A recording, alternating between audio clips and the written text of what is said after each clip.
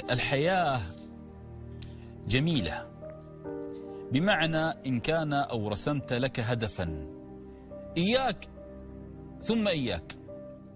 أن يعرقلك عن مسير حياتك وجمال حياتك أي شيء في الوجود حتى لو الذنب. تعلم لماذا؟ لأن الله فتح لك باب التوبة. نبي عليه الصلاة والسلام لما قال الندم توبة الندم توبة. إن الله يقبل توبة العبد ما لم يغرغر. الروح هنا تأتي. باب التوبة مفتوح. والله عز وجل يقول استغفروني. فهذا يعطيك دلالة على أن الله عز وجل شان في الحديث القدسي, القدسي كما قال من استغفروني أغفر لكم. يعطيك دلالة على أن الله عز وجل لا يريد منك أن تعرقل الحياة. تجلس منطويا على نفسك منغلقا على نفسك في زاوية مظلمة. أنا أذنبت وقعت في الذنب. لا يريد الله هذا. يريد الله وقعت في الذنب. نعم تب واستمر في حياتك. استمر في عطائك. كلنا يذنب. يا عبادي قال الله في الحديث القدسي إنكم تذنبون بالليل والنهار. إنكم تذنبون بالليل والنهار. ما في مناص. ما أذنبت بالليل تذنب بالنهار. ما أذنب بالنهار تذنب بالليل. بس فتستغفروني فأغفر لكم. انتهى الموضوع.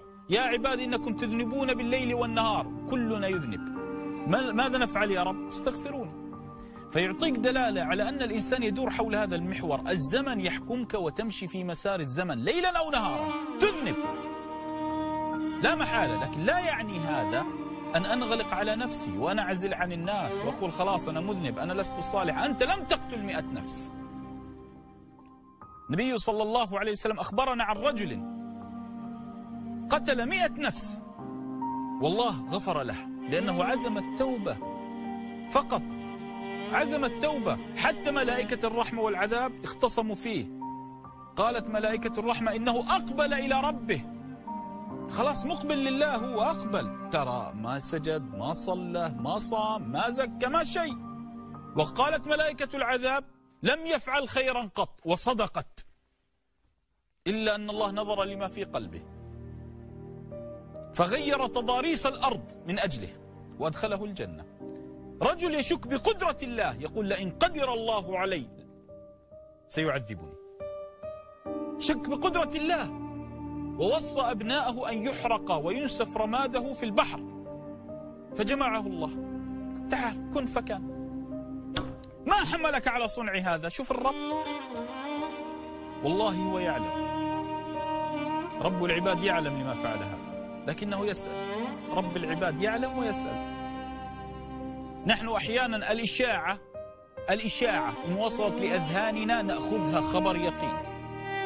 الله عز وجل يعلم سبحانه وتعالى يعلم وما هذا سأل عبده قال يا رب خفتك وخشيت ذنوبي. قال غفرت لك. شك بقدرة الله.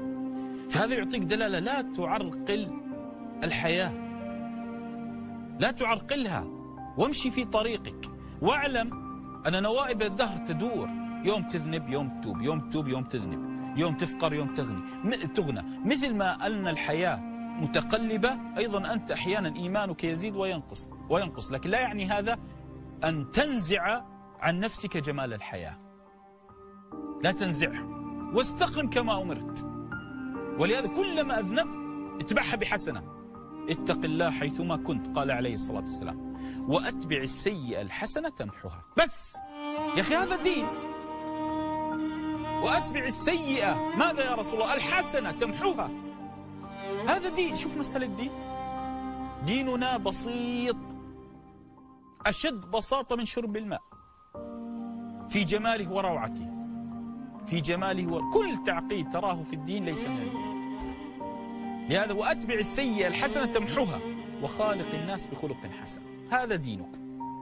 أذنبت أحسن وخلق طيب مع الناس.